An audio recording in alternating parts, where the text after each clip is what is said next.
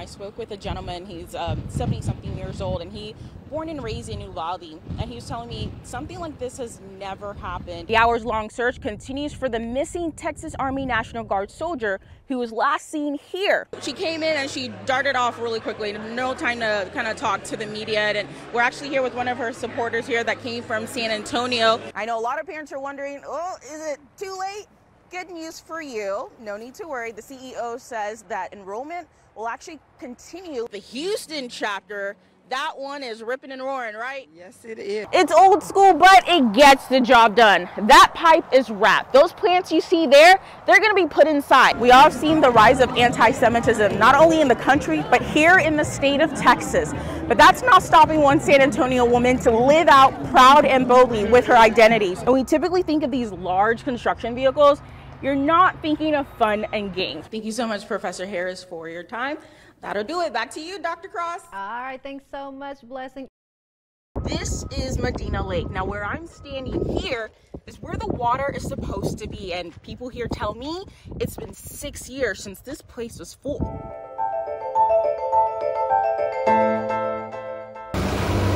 Water is life. And for Bandera County Commissioner Bobby Harris, he says Medina Lake sure could use a lifeline. I don't even have a creek anymore. Go get on your other cart. This is how he starts his day. Go check out the river. Let's load up. Get on your cart. Get over here, get on your cart, load up. There you go. With his trusty sidekick, Bullet, along for the ride. This is his office on wheels. He gets plenty of calls about the lake during his morning rides with Bullet before heading to the county park. Medina Lake County Park. How can I help you? I guess you can tell that Bullet loves to go riding. Sadly, the journey has not been a smooth one out here at the lake. You want to go for another ride? We got to load up. For nearly two decades, Commissioner Harris says he has seen the body of water at its best, which he says was six years ago when it was full, and at its worst. I've seen it near empty several times. He says most recently was in 2015 when it was down to 3%. So when you come into Medina Lake County Park, this is the, the site you'll see. A near barren wasteland. Right now, he says it's around 20% full. There's lots of water out there still. But that hasn't stopped longtime fishermen like Wayne Long from stopping by on the weekdays. All right. We're in 60 foot of water and it's supposed to be how much? 130, 120. On average, about 120, but there are some deeper holes. So it's real bad here? Yes, we're way down. It gets shallow in a hurry up here. Commissioner Harris says he's about 30 days away before possibly shutting down County Park at Medina Lake if we don't get some rain. Straight, straight ahead, due north. I have no water. He says it would be a painful decision he's had to make once in the last 16 years.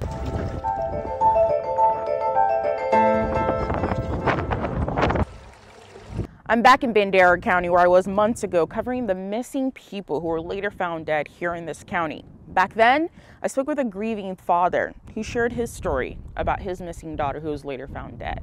But now, that same grieving father is behind bars.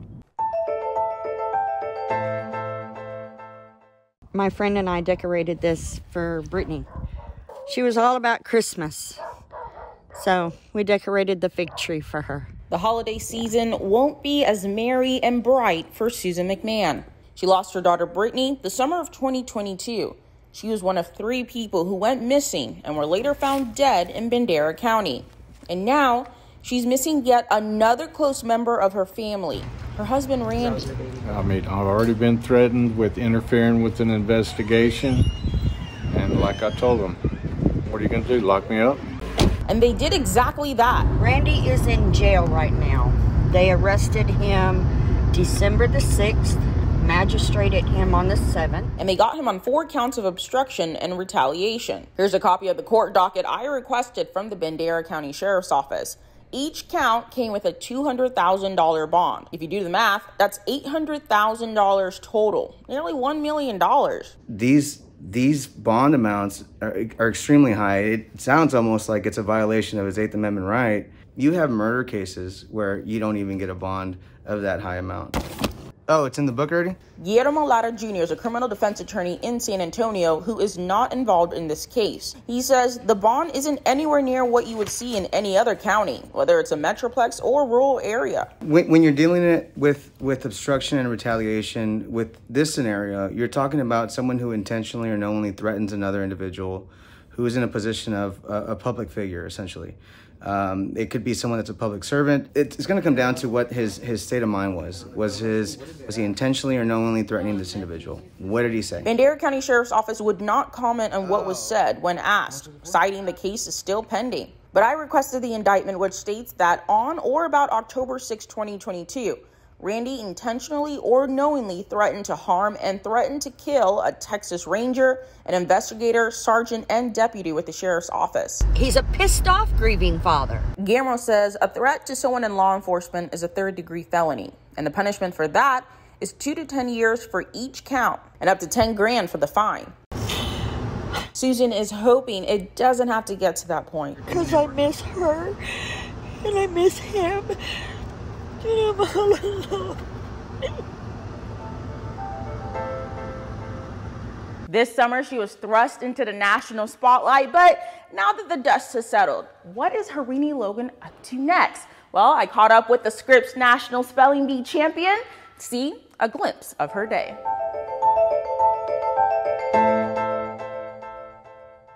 Are you ready? Yes. We all know she can spell. Moorhen. M O O R H E N. But did you know Harini Logan could also do this? It has been a busy summer full of press tours and traveling to India since being crowned the 2022 Scripps National Spelling Bee Champion. But now, Harini is tackling a new hurdle high school, and also making sure she gets this Hindu song down before her big recital in October. But she loves this. She loves singing. She does the choir at school as well, so she does the Western music singing too. Long before her 14 year old was a spelling bee champ, she says her daughter has been singing since she was five years old. She is amazing, even through all her. Uh, spelling bee preparation. Her life is pretty busy.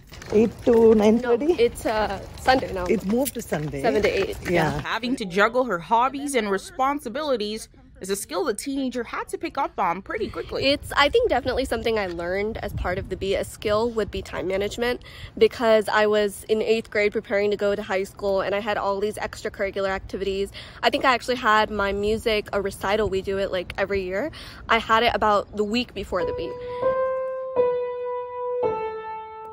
She keeps the tunes going at home when she can find the time. Piano classes I had to take a little break from because of my spelling bee. A few days a week, she tickles the ivories to help her decompress from her jam packed schedule. Music is my passion, so I love getting involved in it however I can. So you would think this music lover would follow that passion and turn it into a career, right? Think again. I really want to be a physician or be in the medical field because ever since like I was very young, I feel like medicine is a profession where you can give back in a unique way unlike any other. It was a peaceful evening. And she continues to give back through the Scripps National Spelling Bee, even though she can't compete again due to aging out at 14, and of course, winning after her fourth attempt at the competition. I'm still planning on working, volunteering as a judge, and helping plan bees and volunteering at local level bees as well. And speaking of bees, I couldn't leave without testing the champ with a mini spelling session of my own. Can I have the word one more time? Iwuchukwu. I W A C H U K U. In her defense, so that's why you couldn't get it, because it's not in the dictionary. and we all know she knows a thing or two about dictionaries.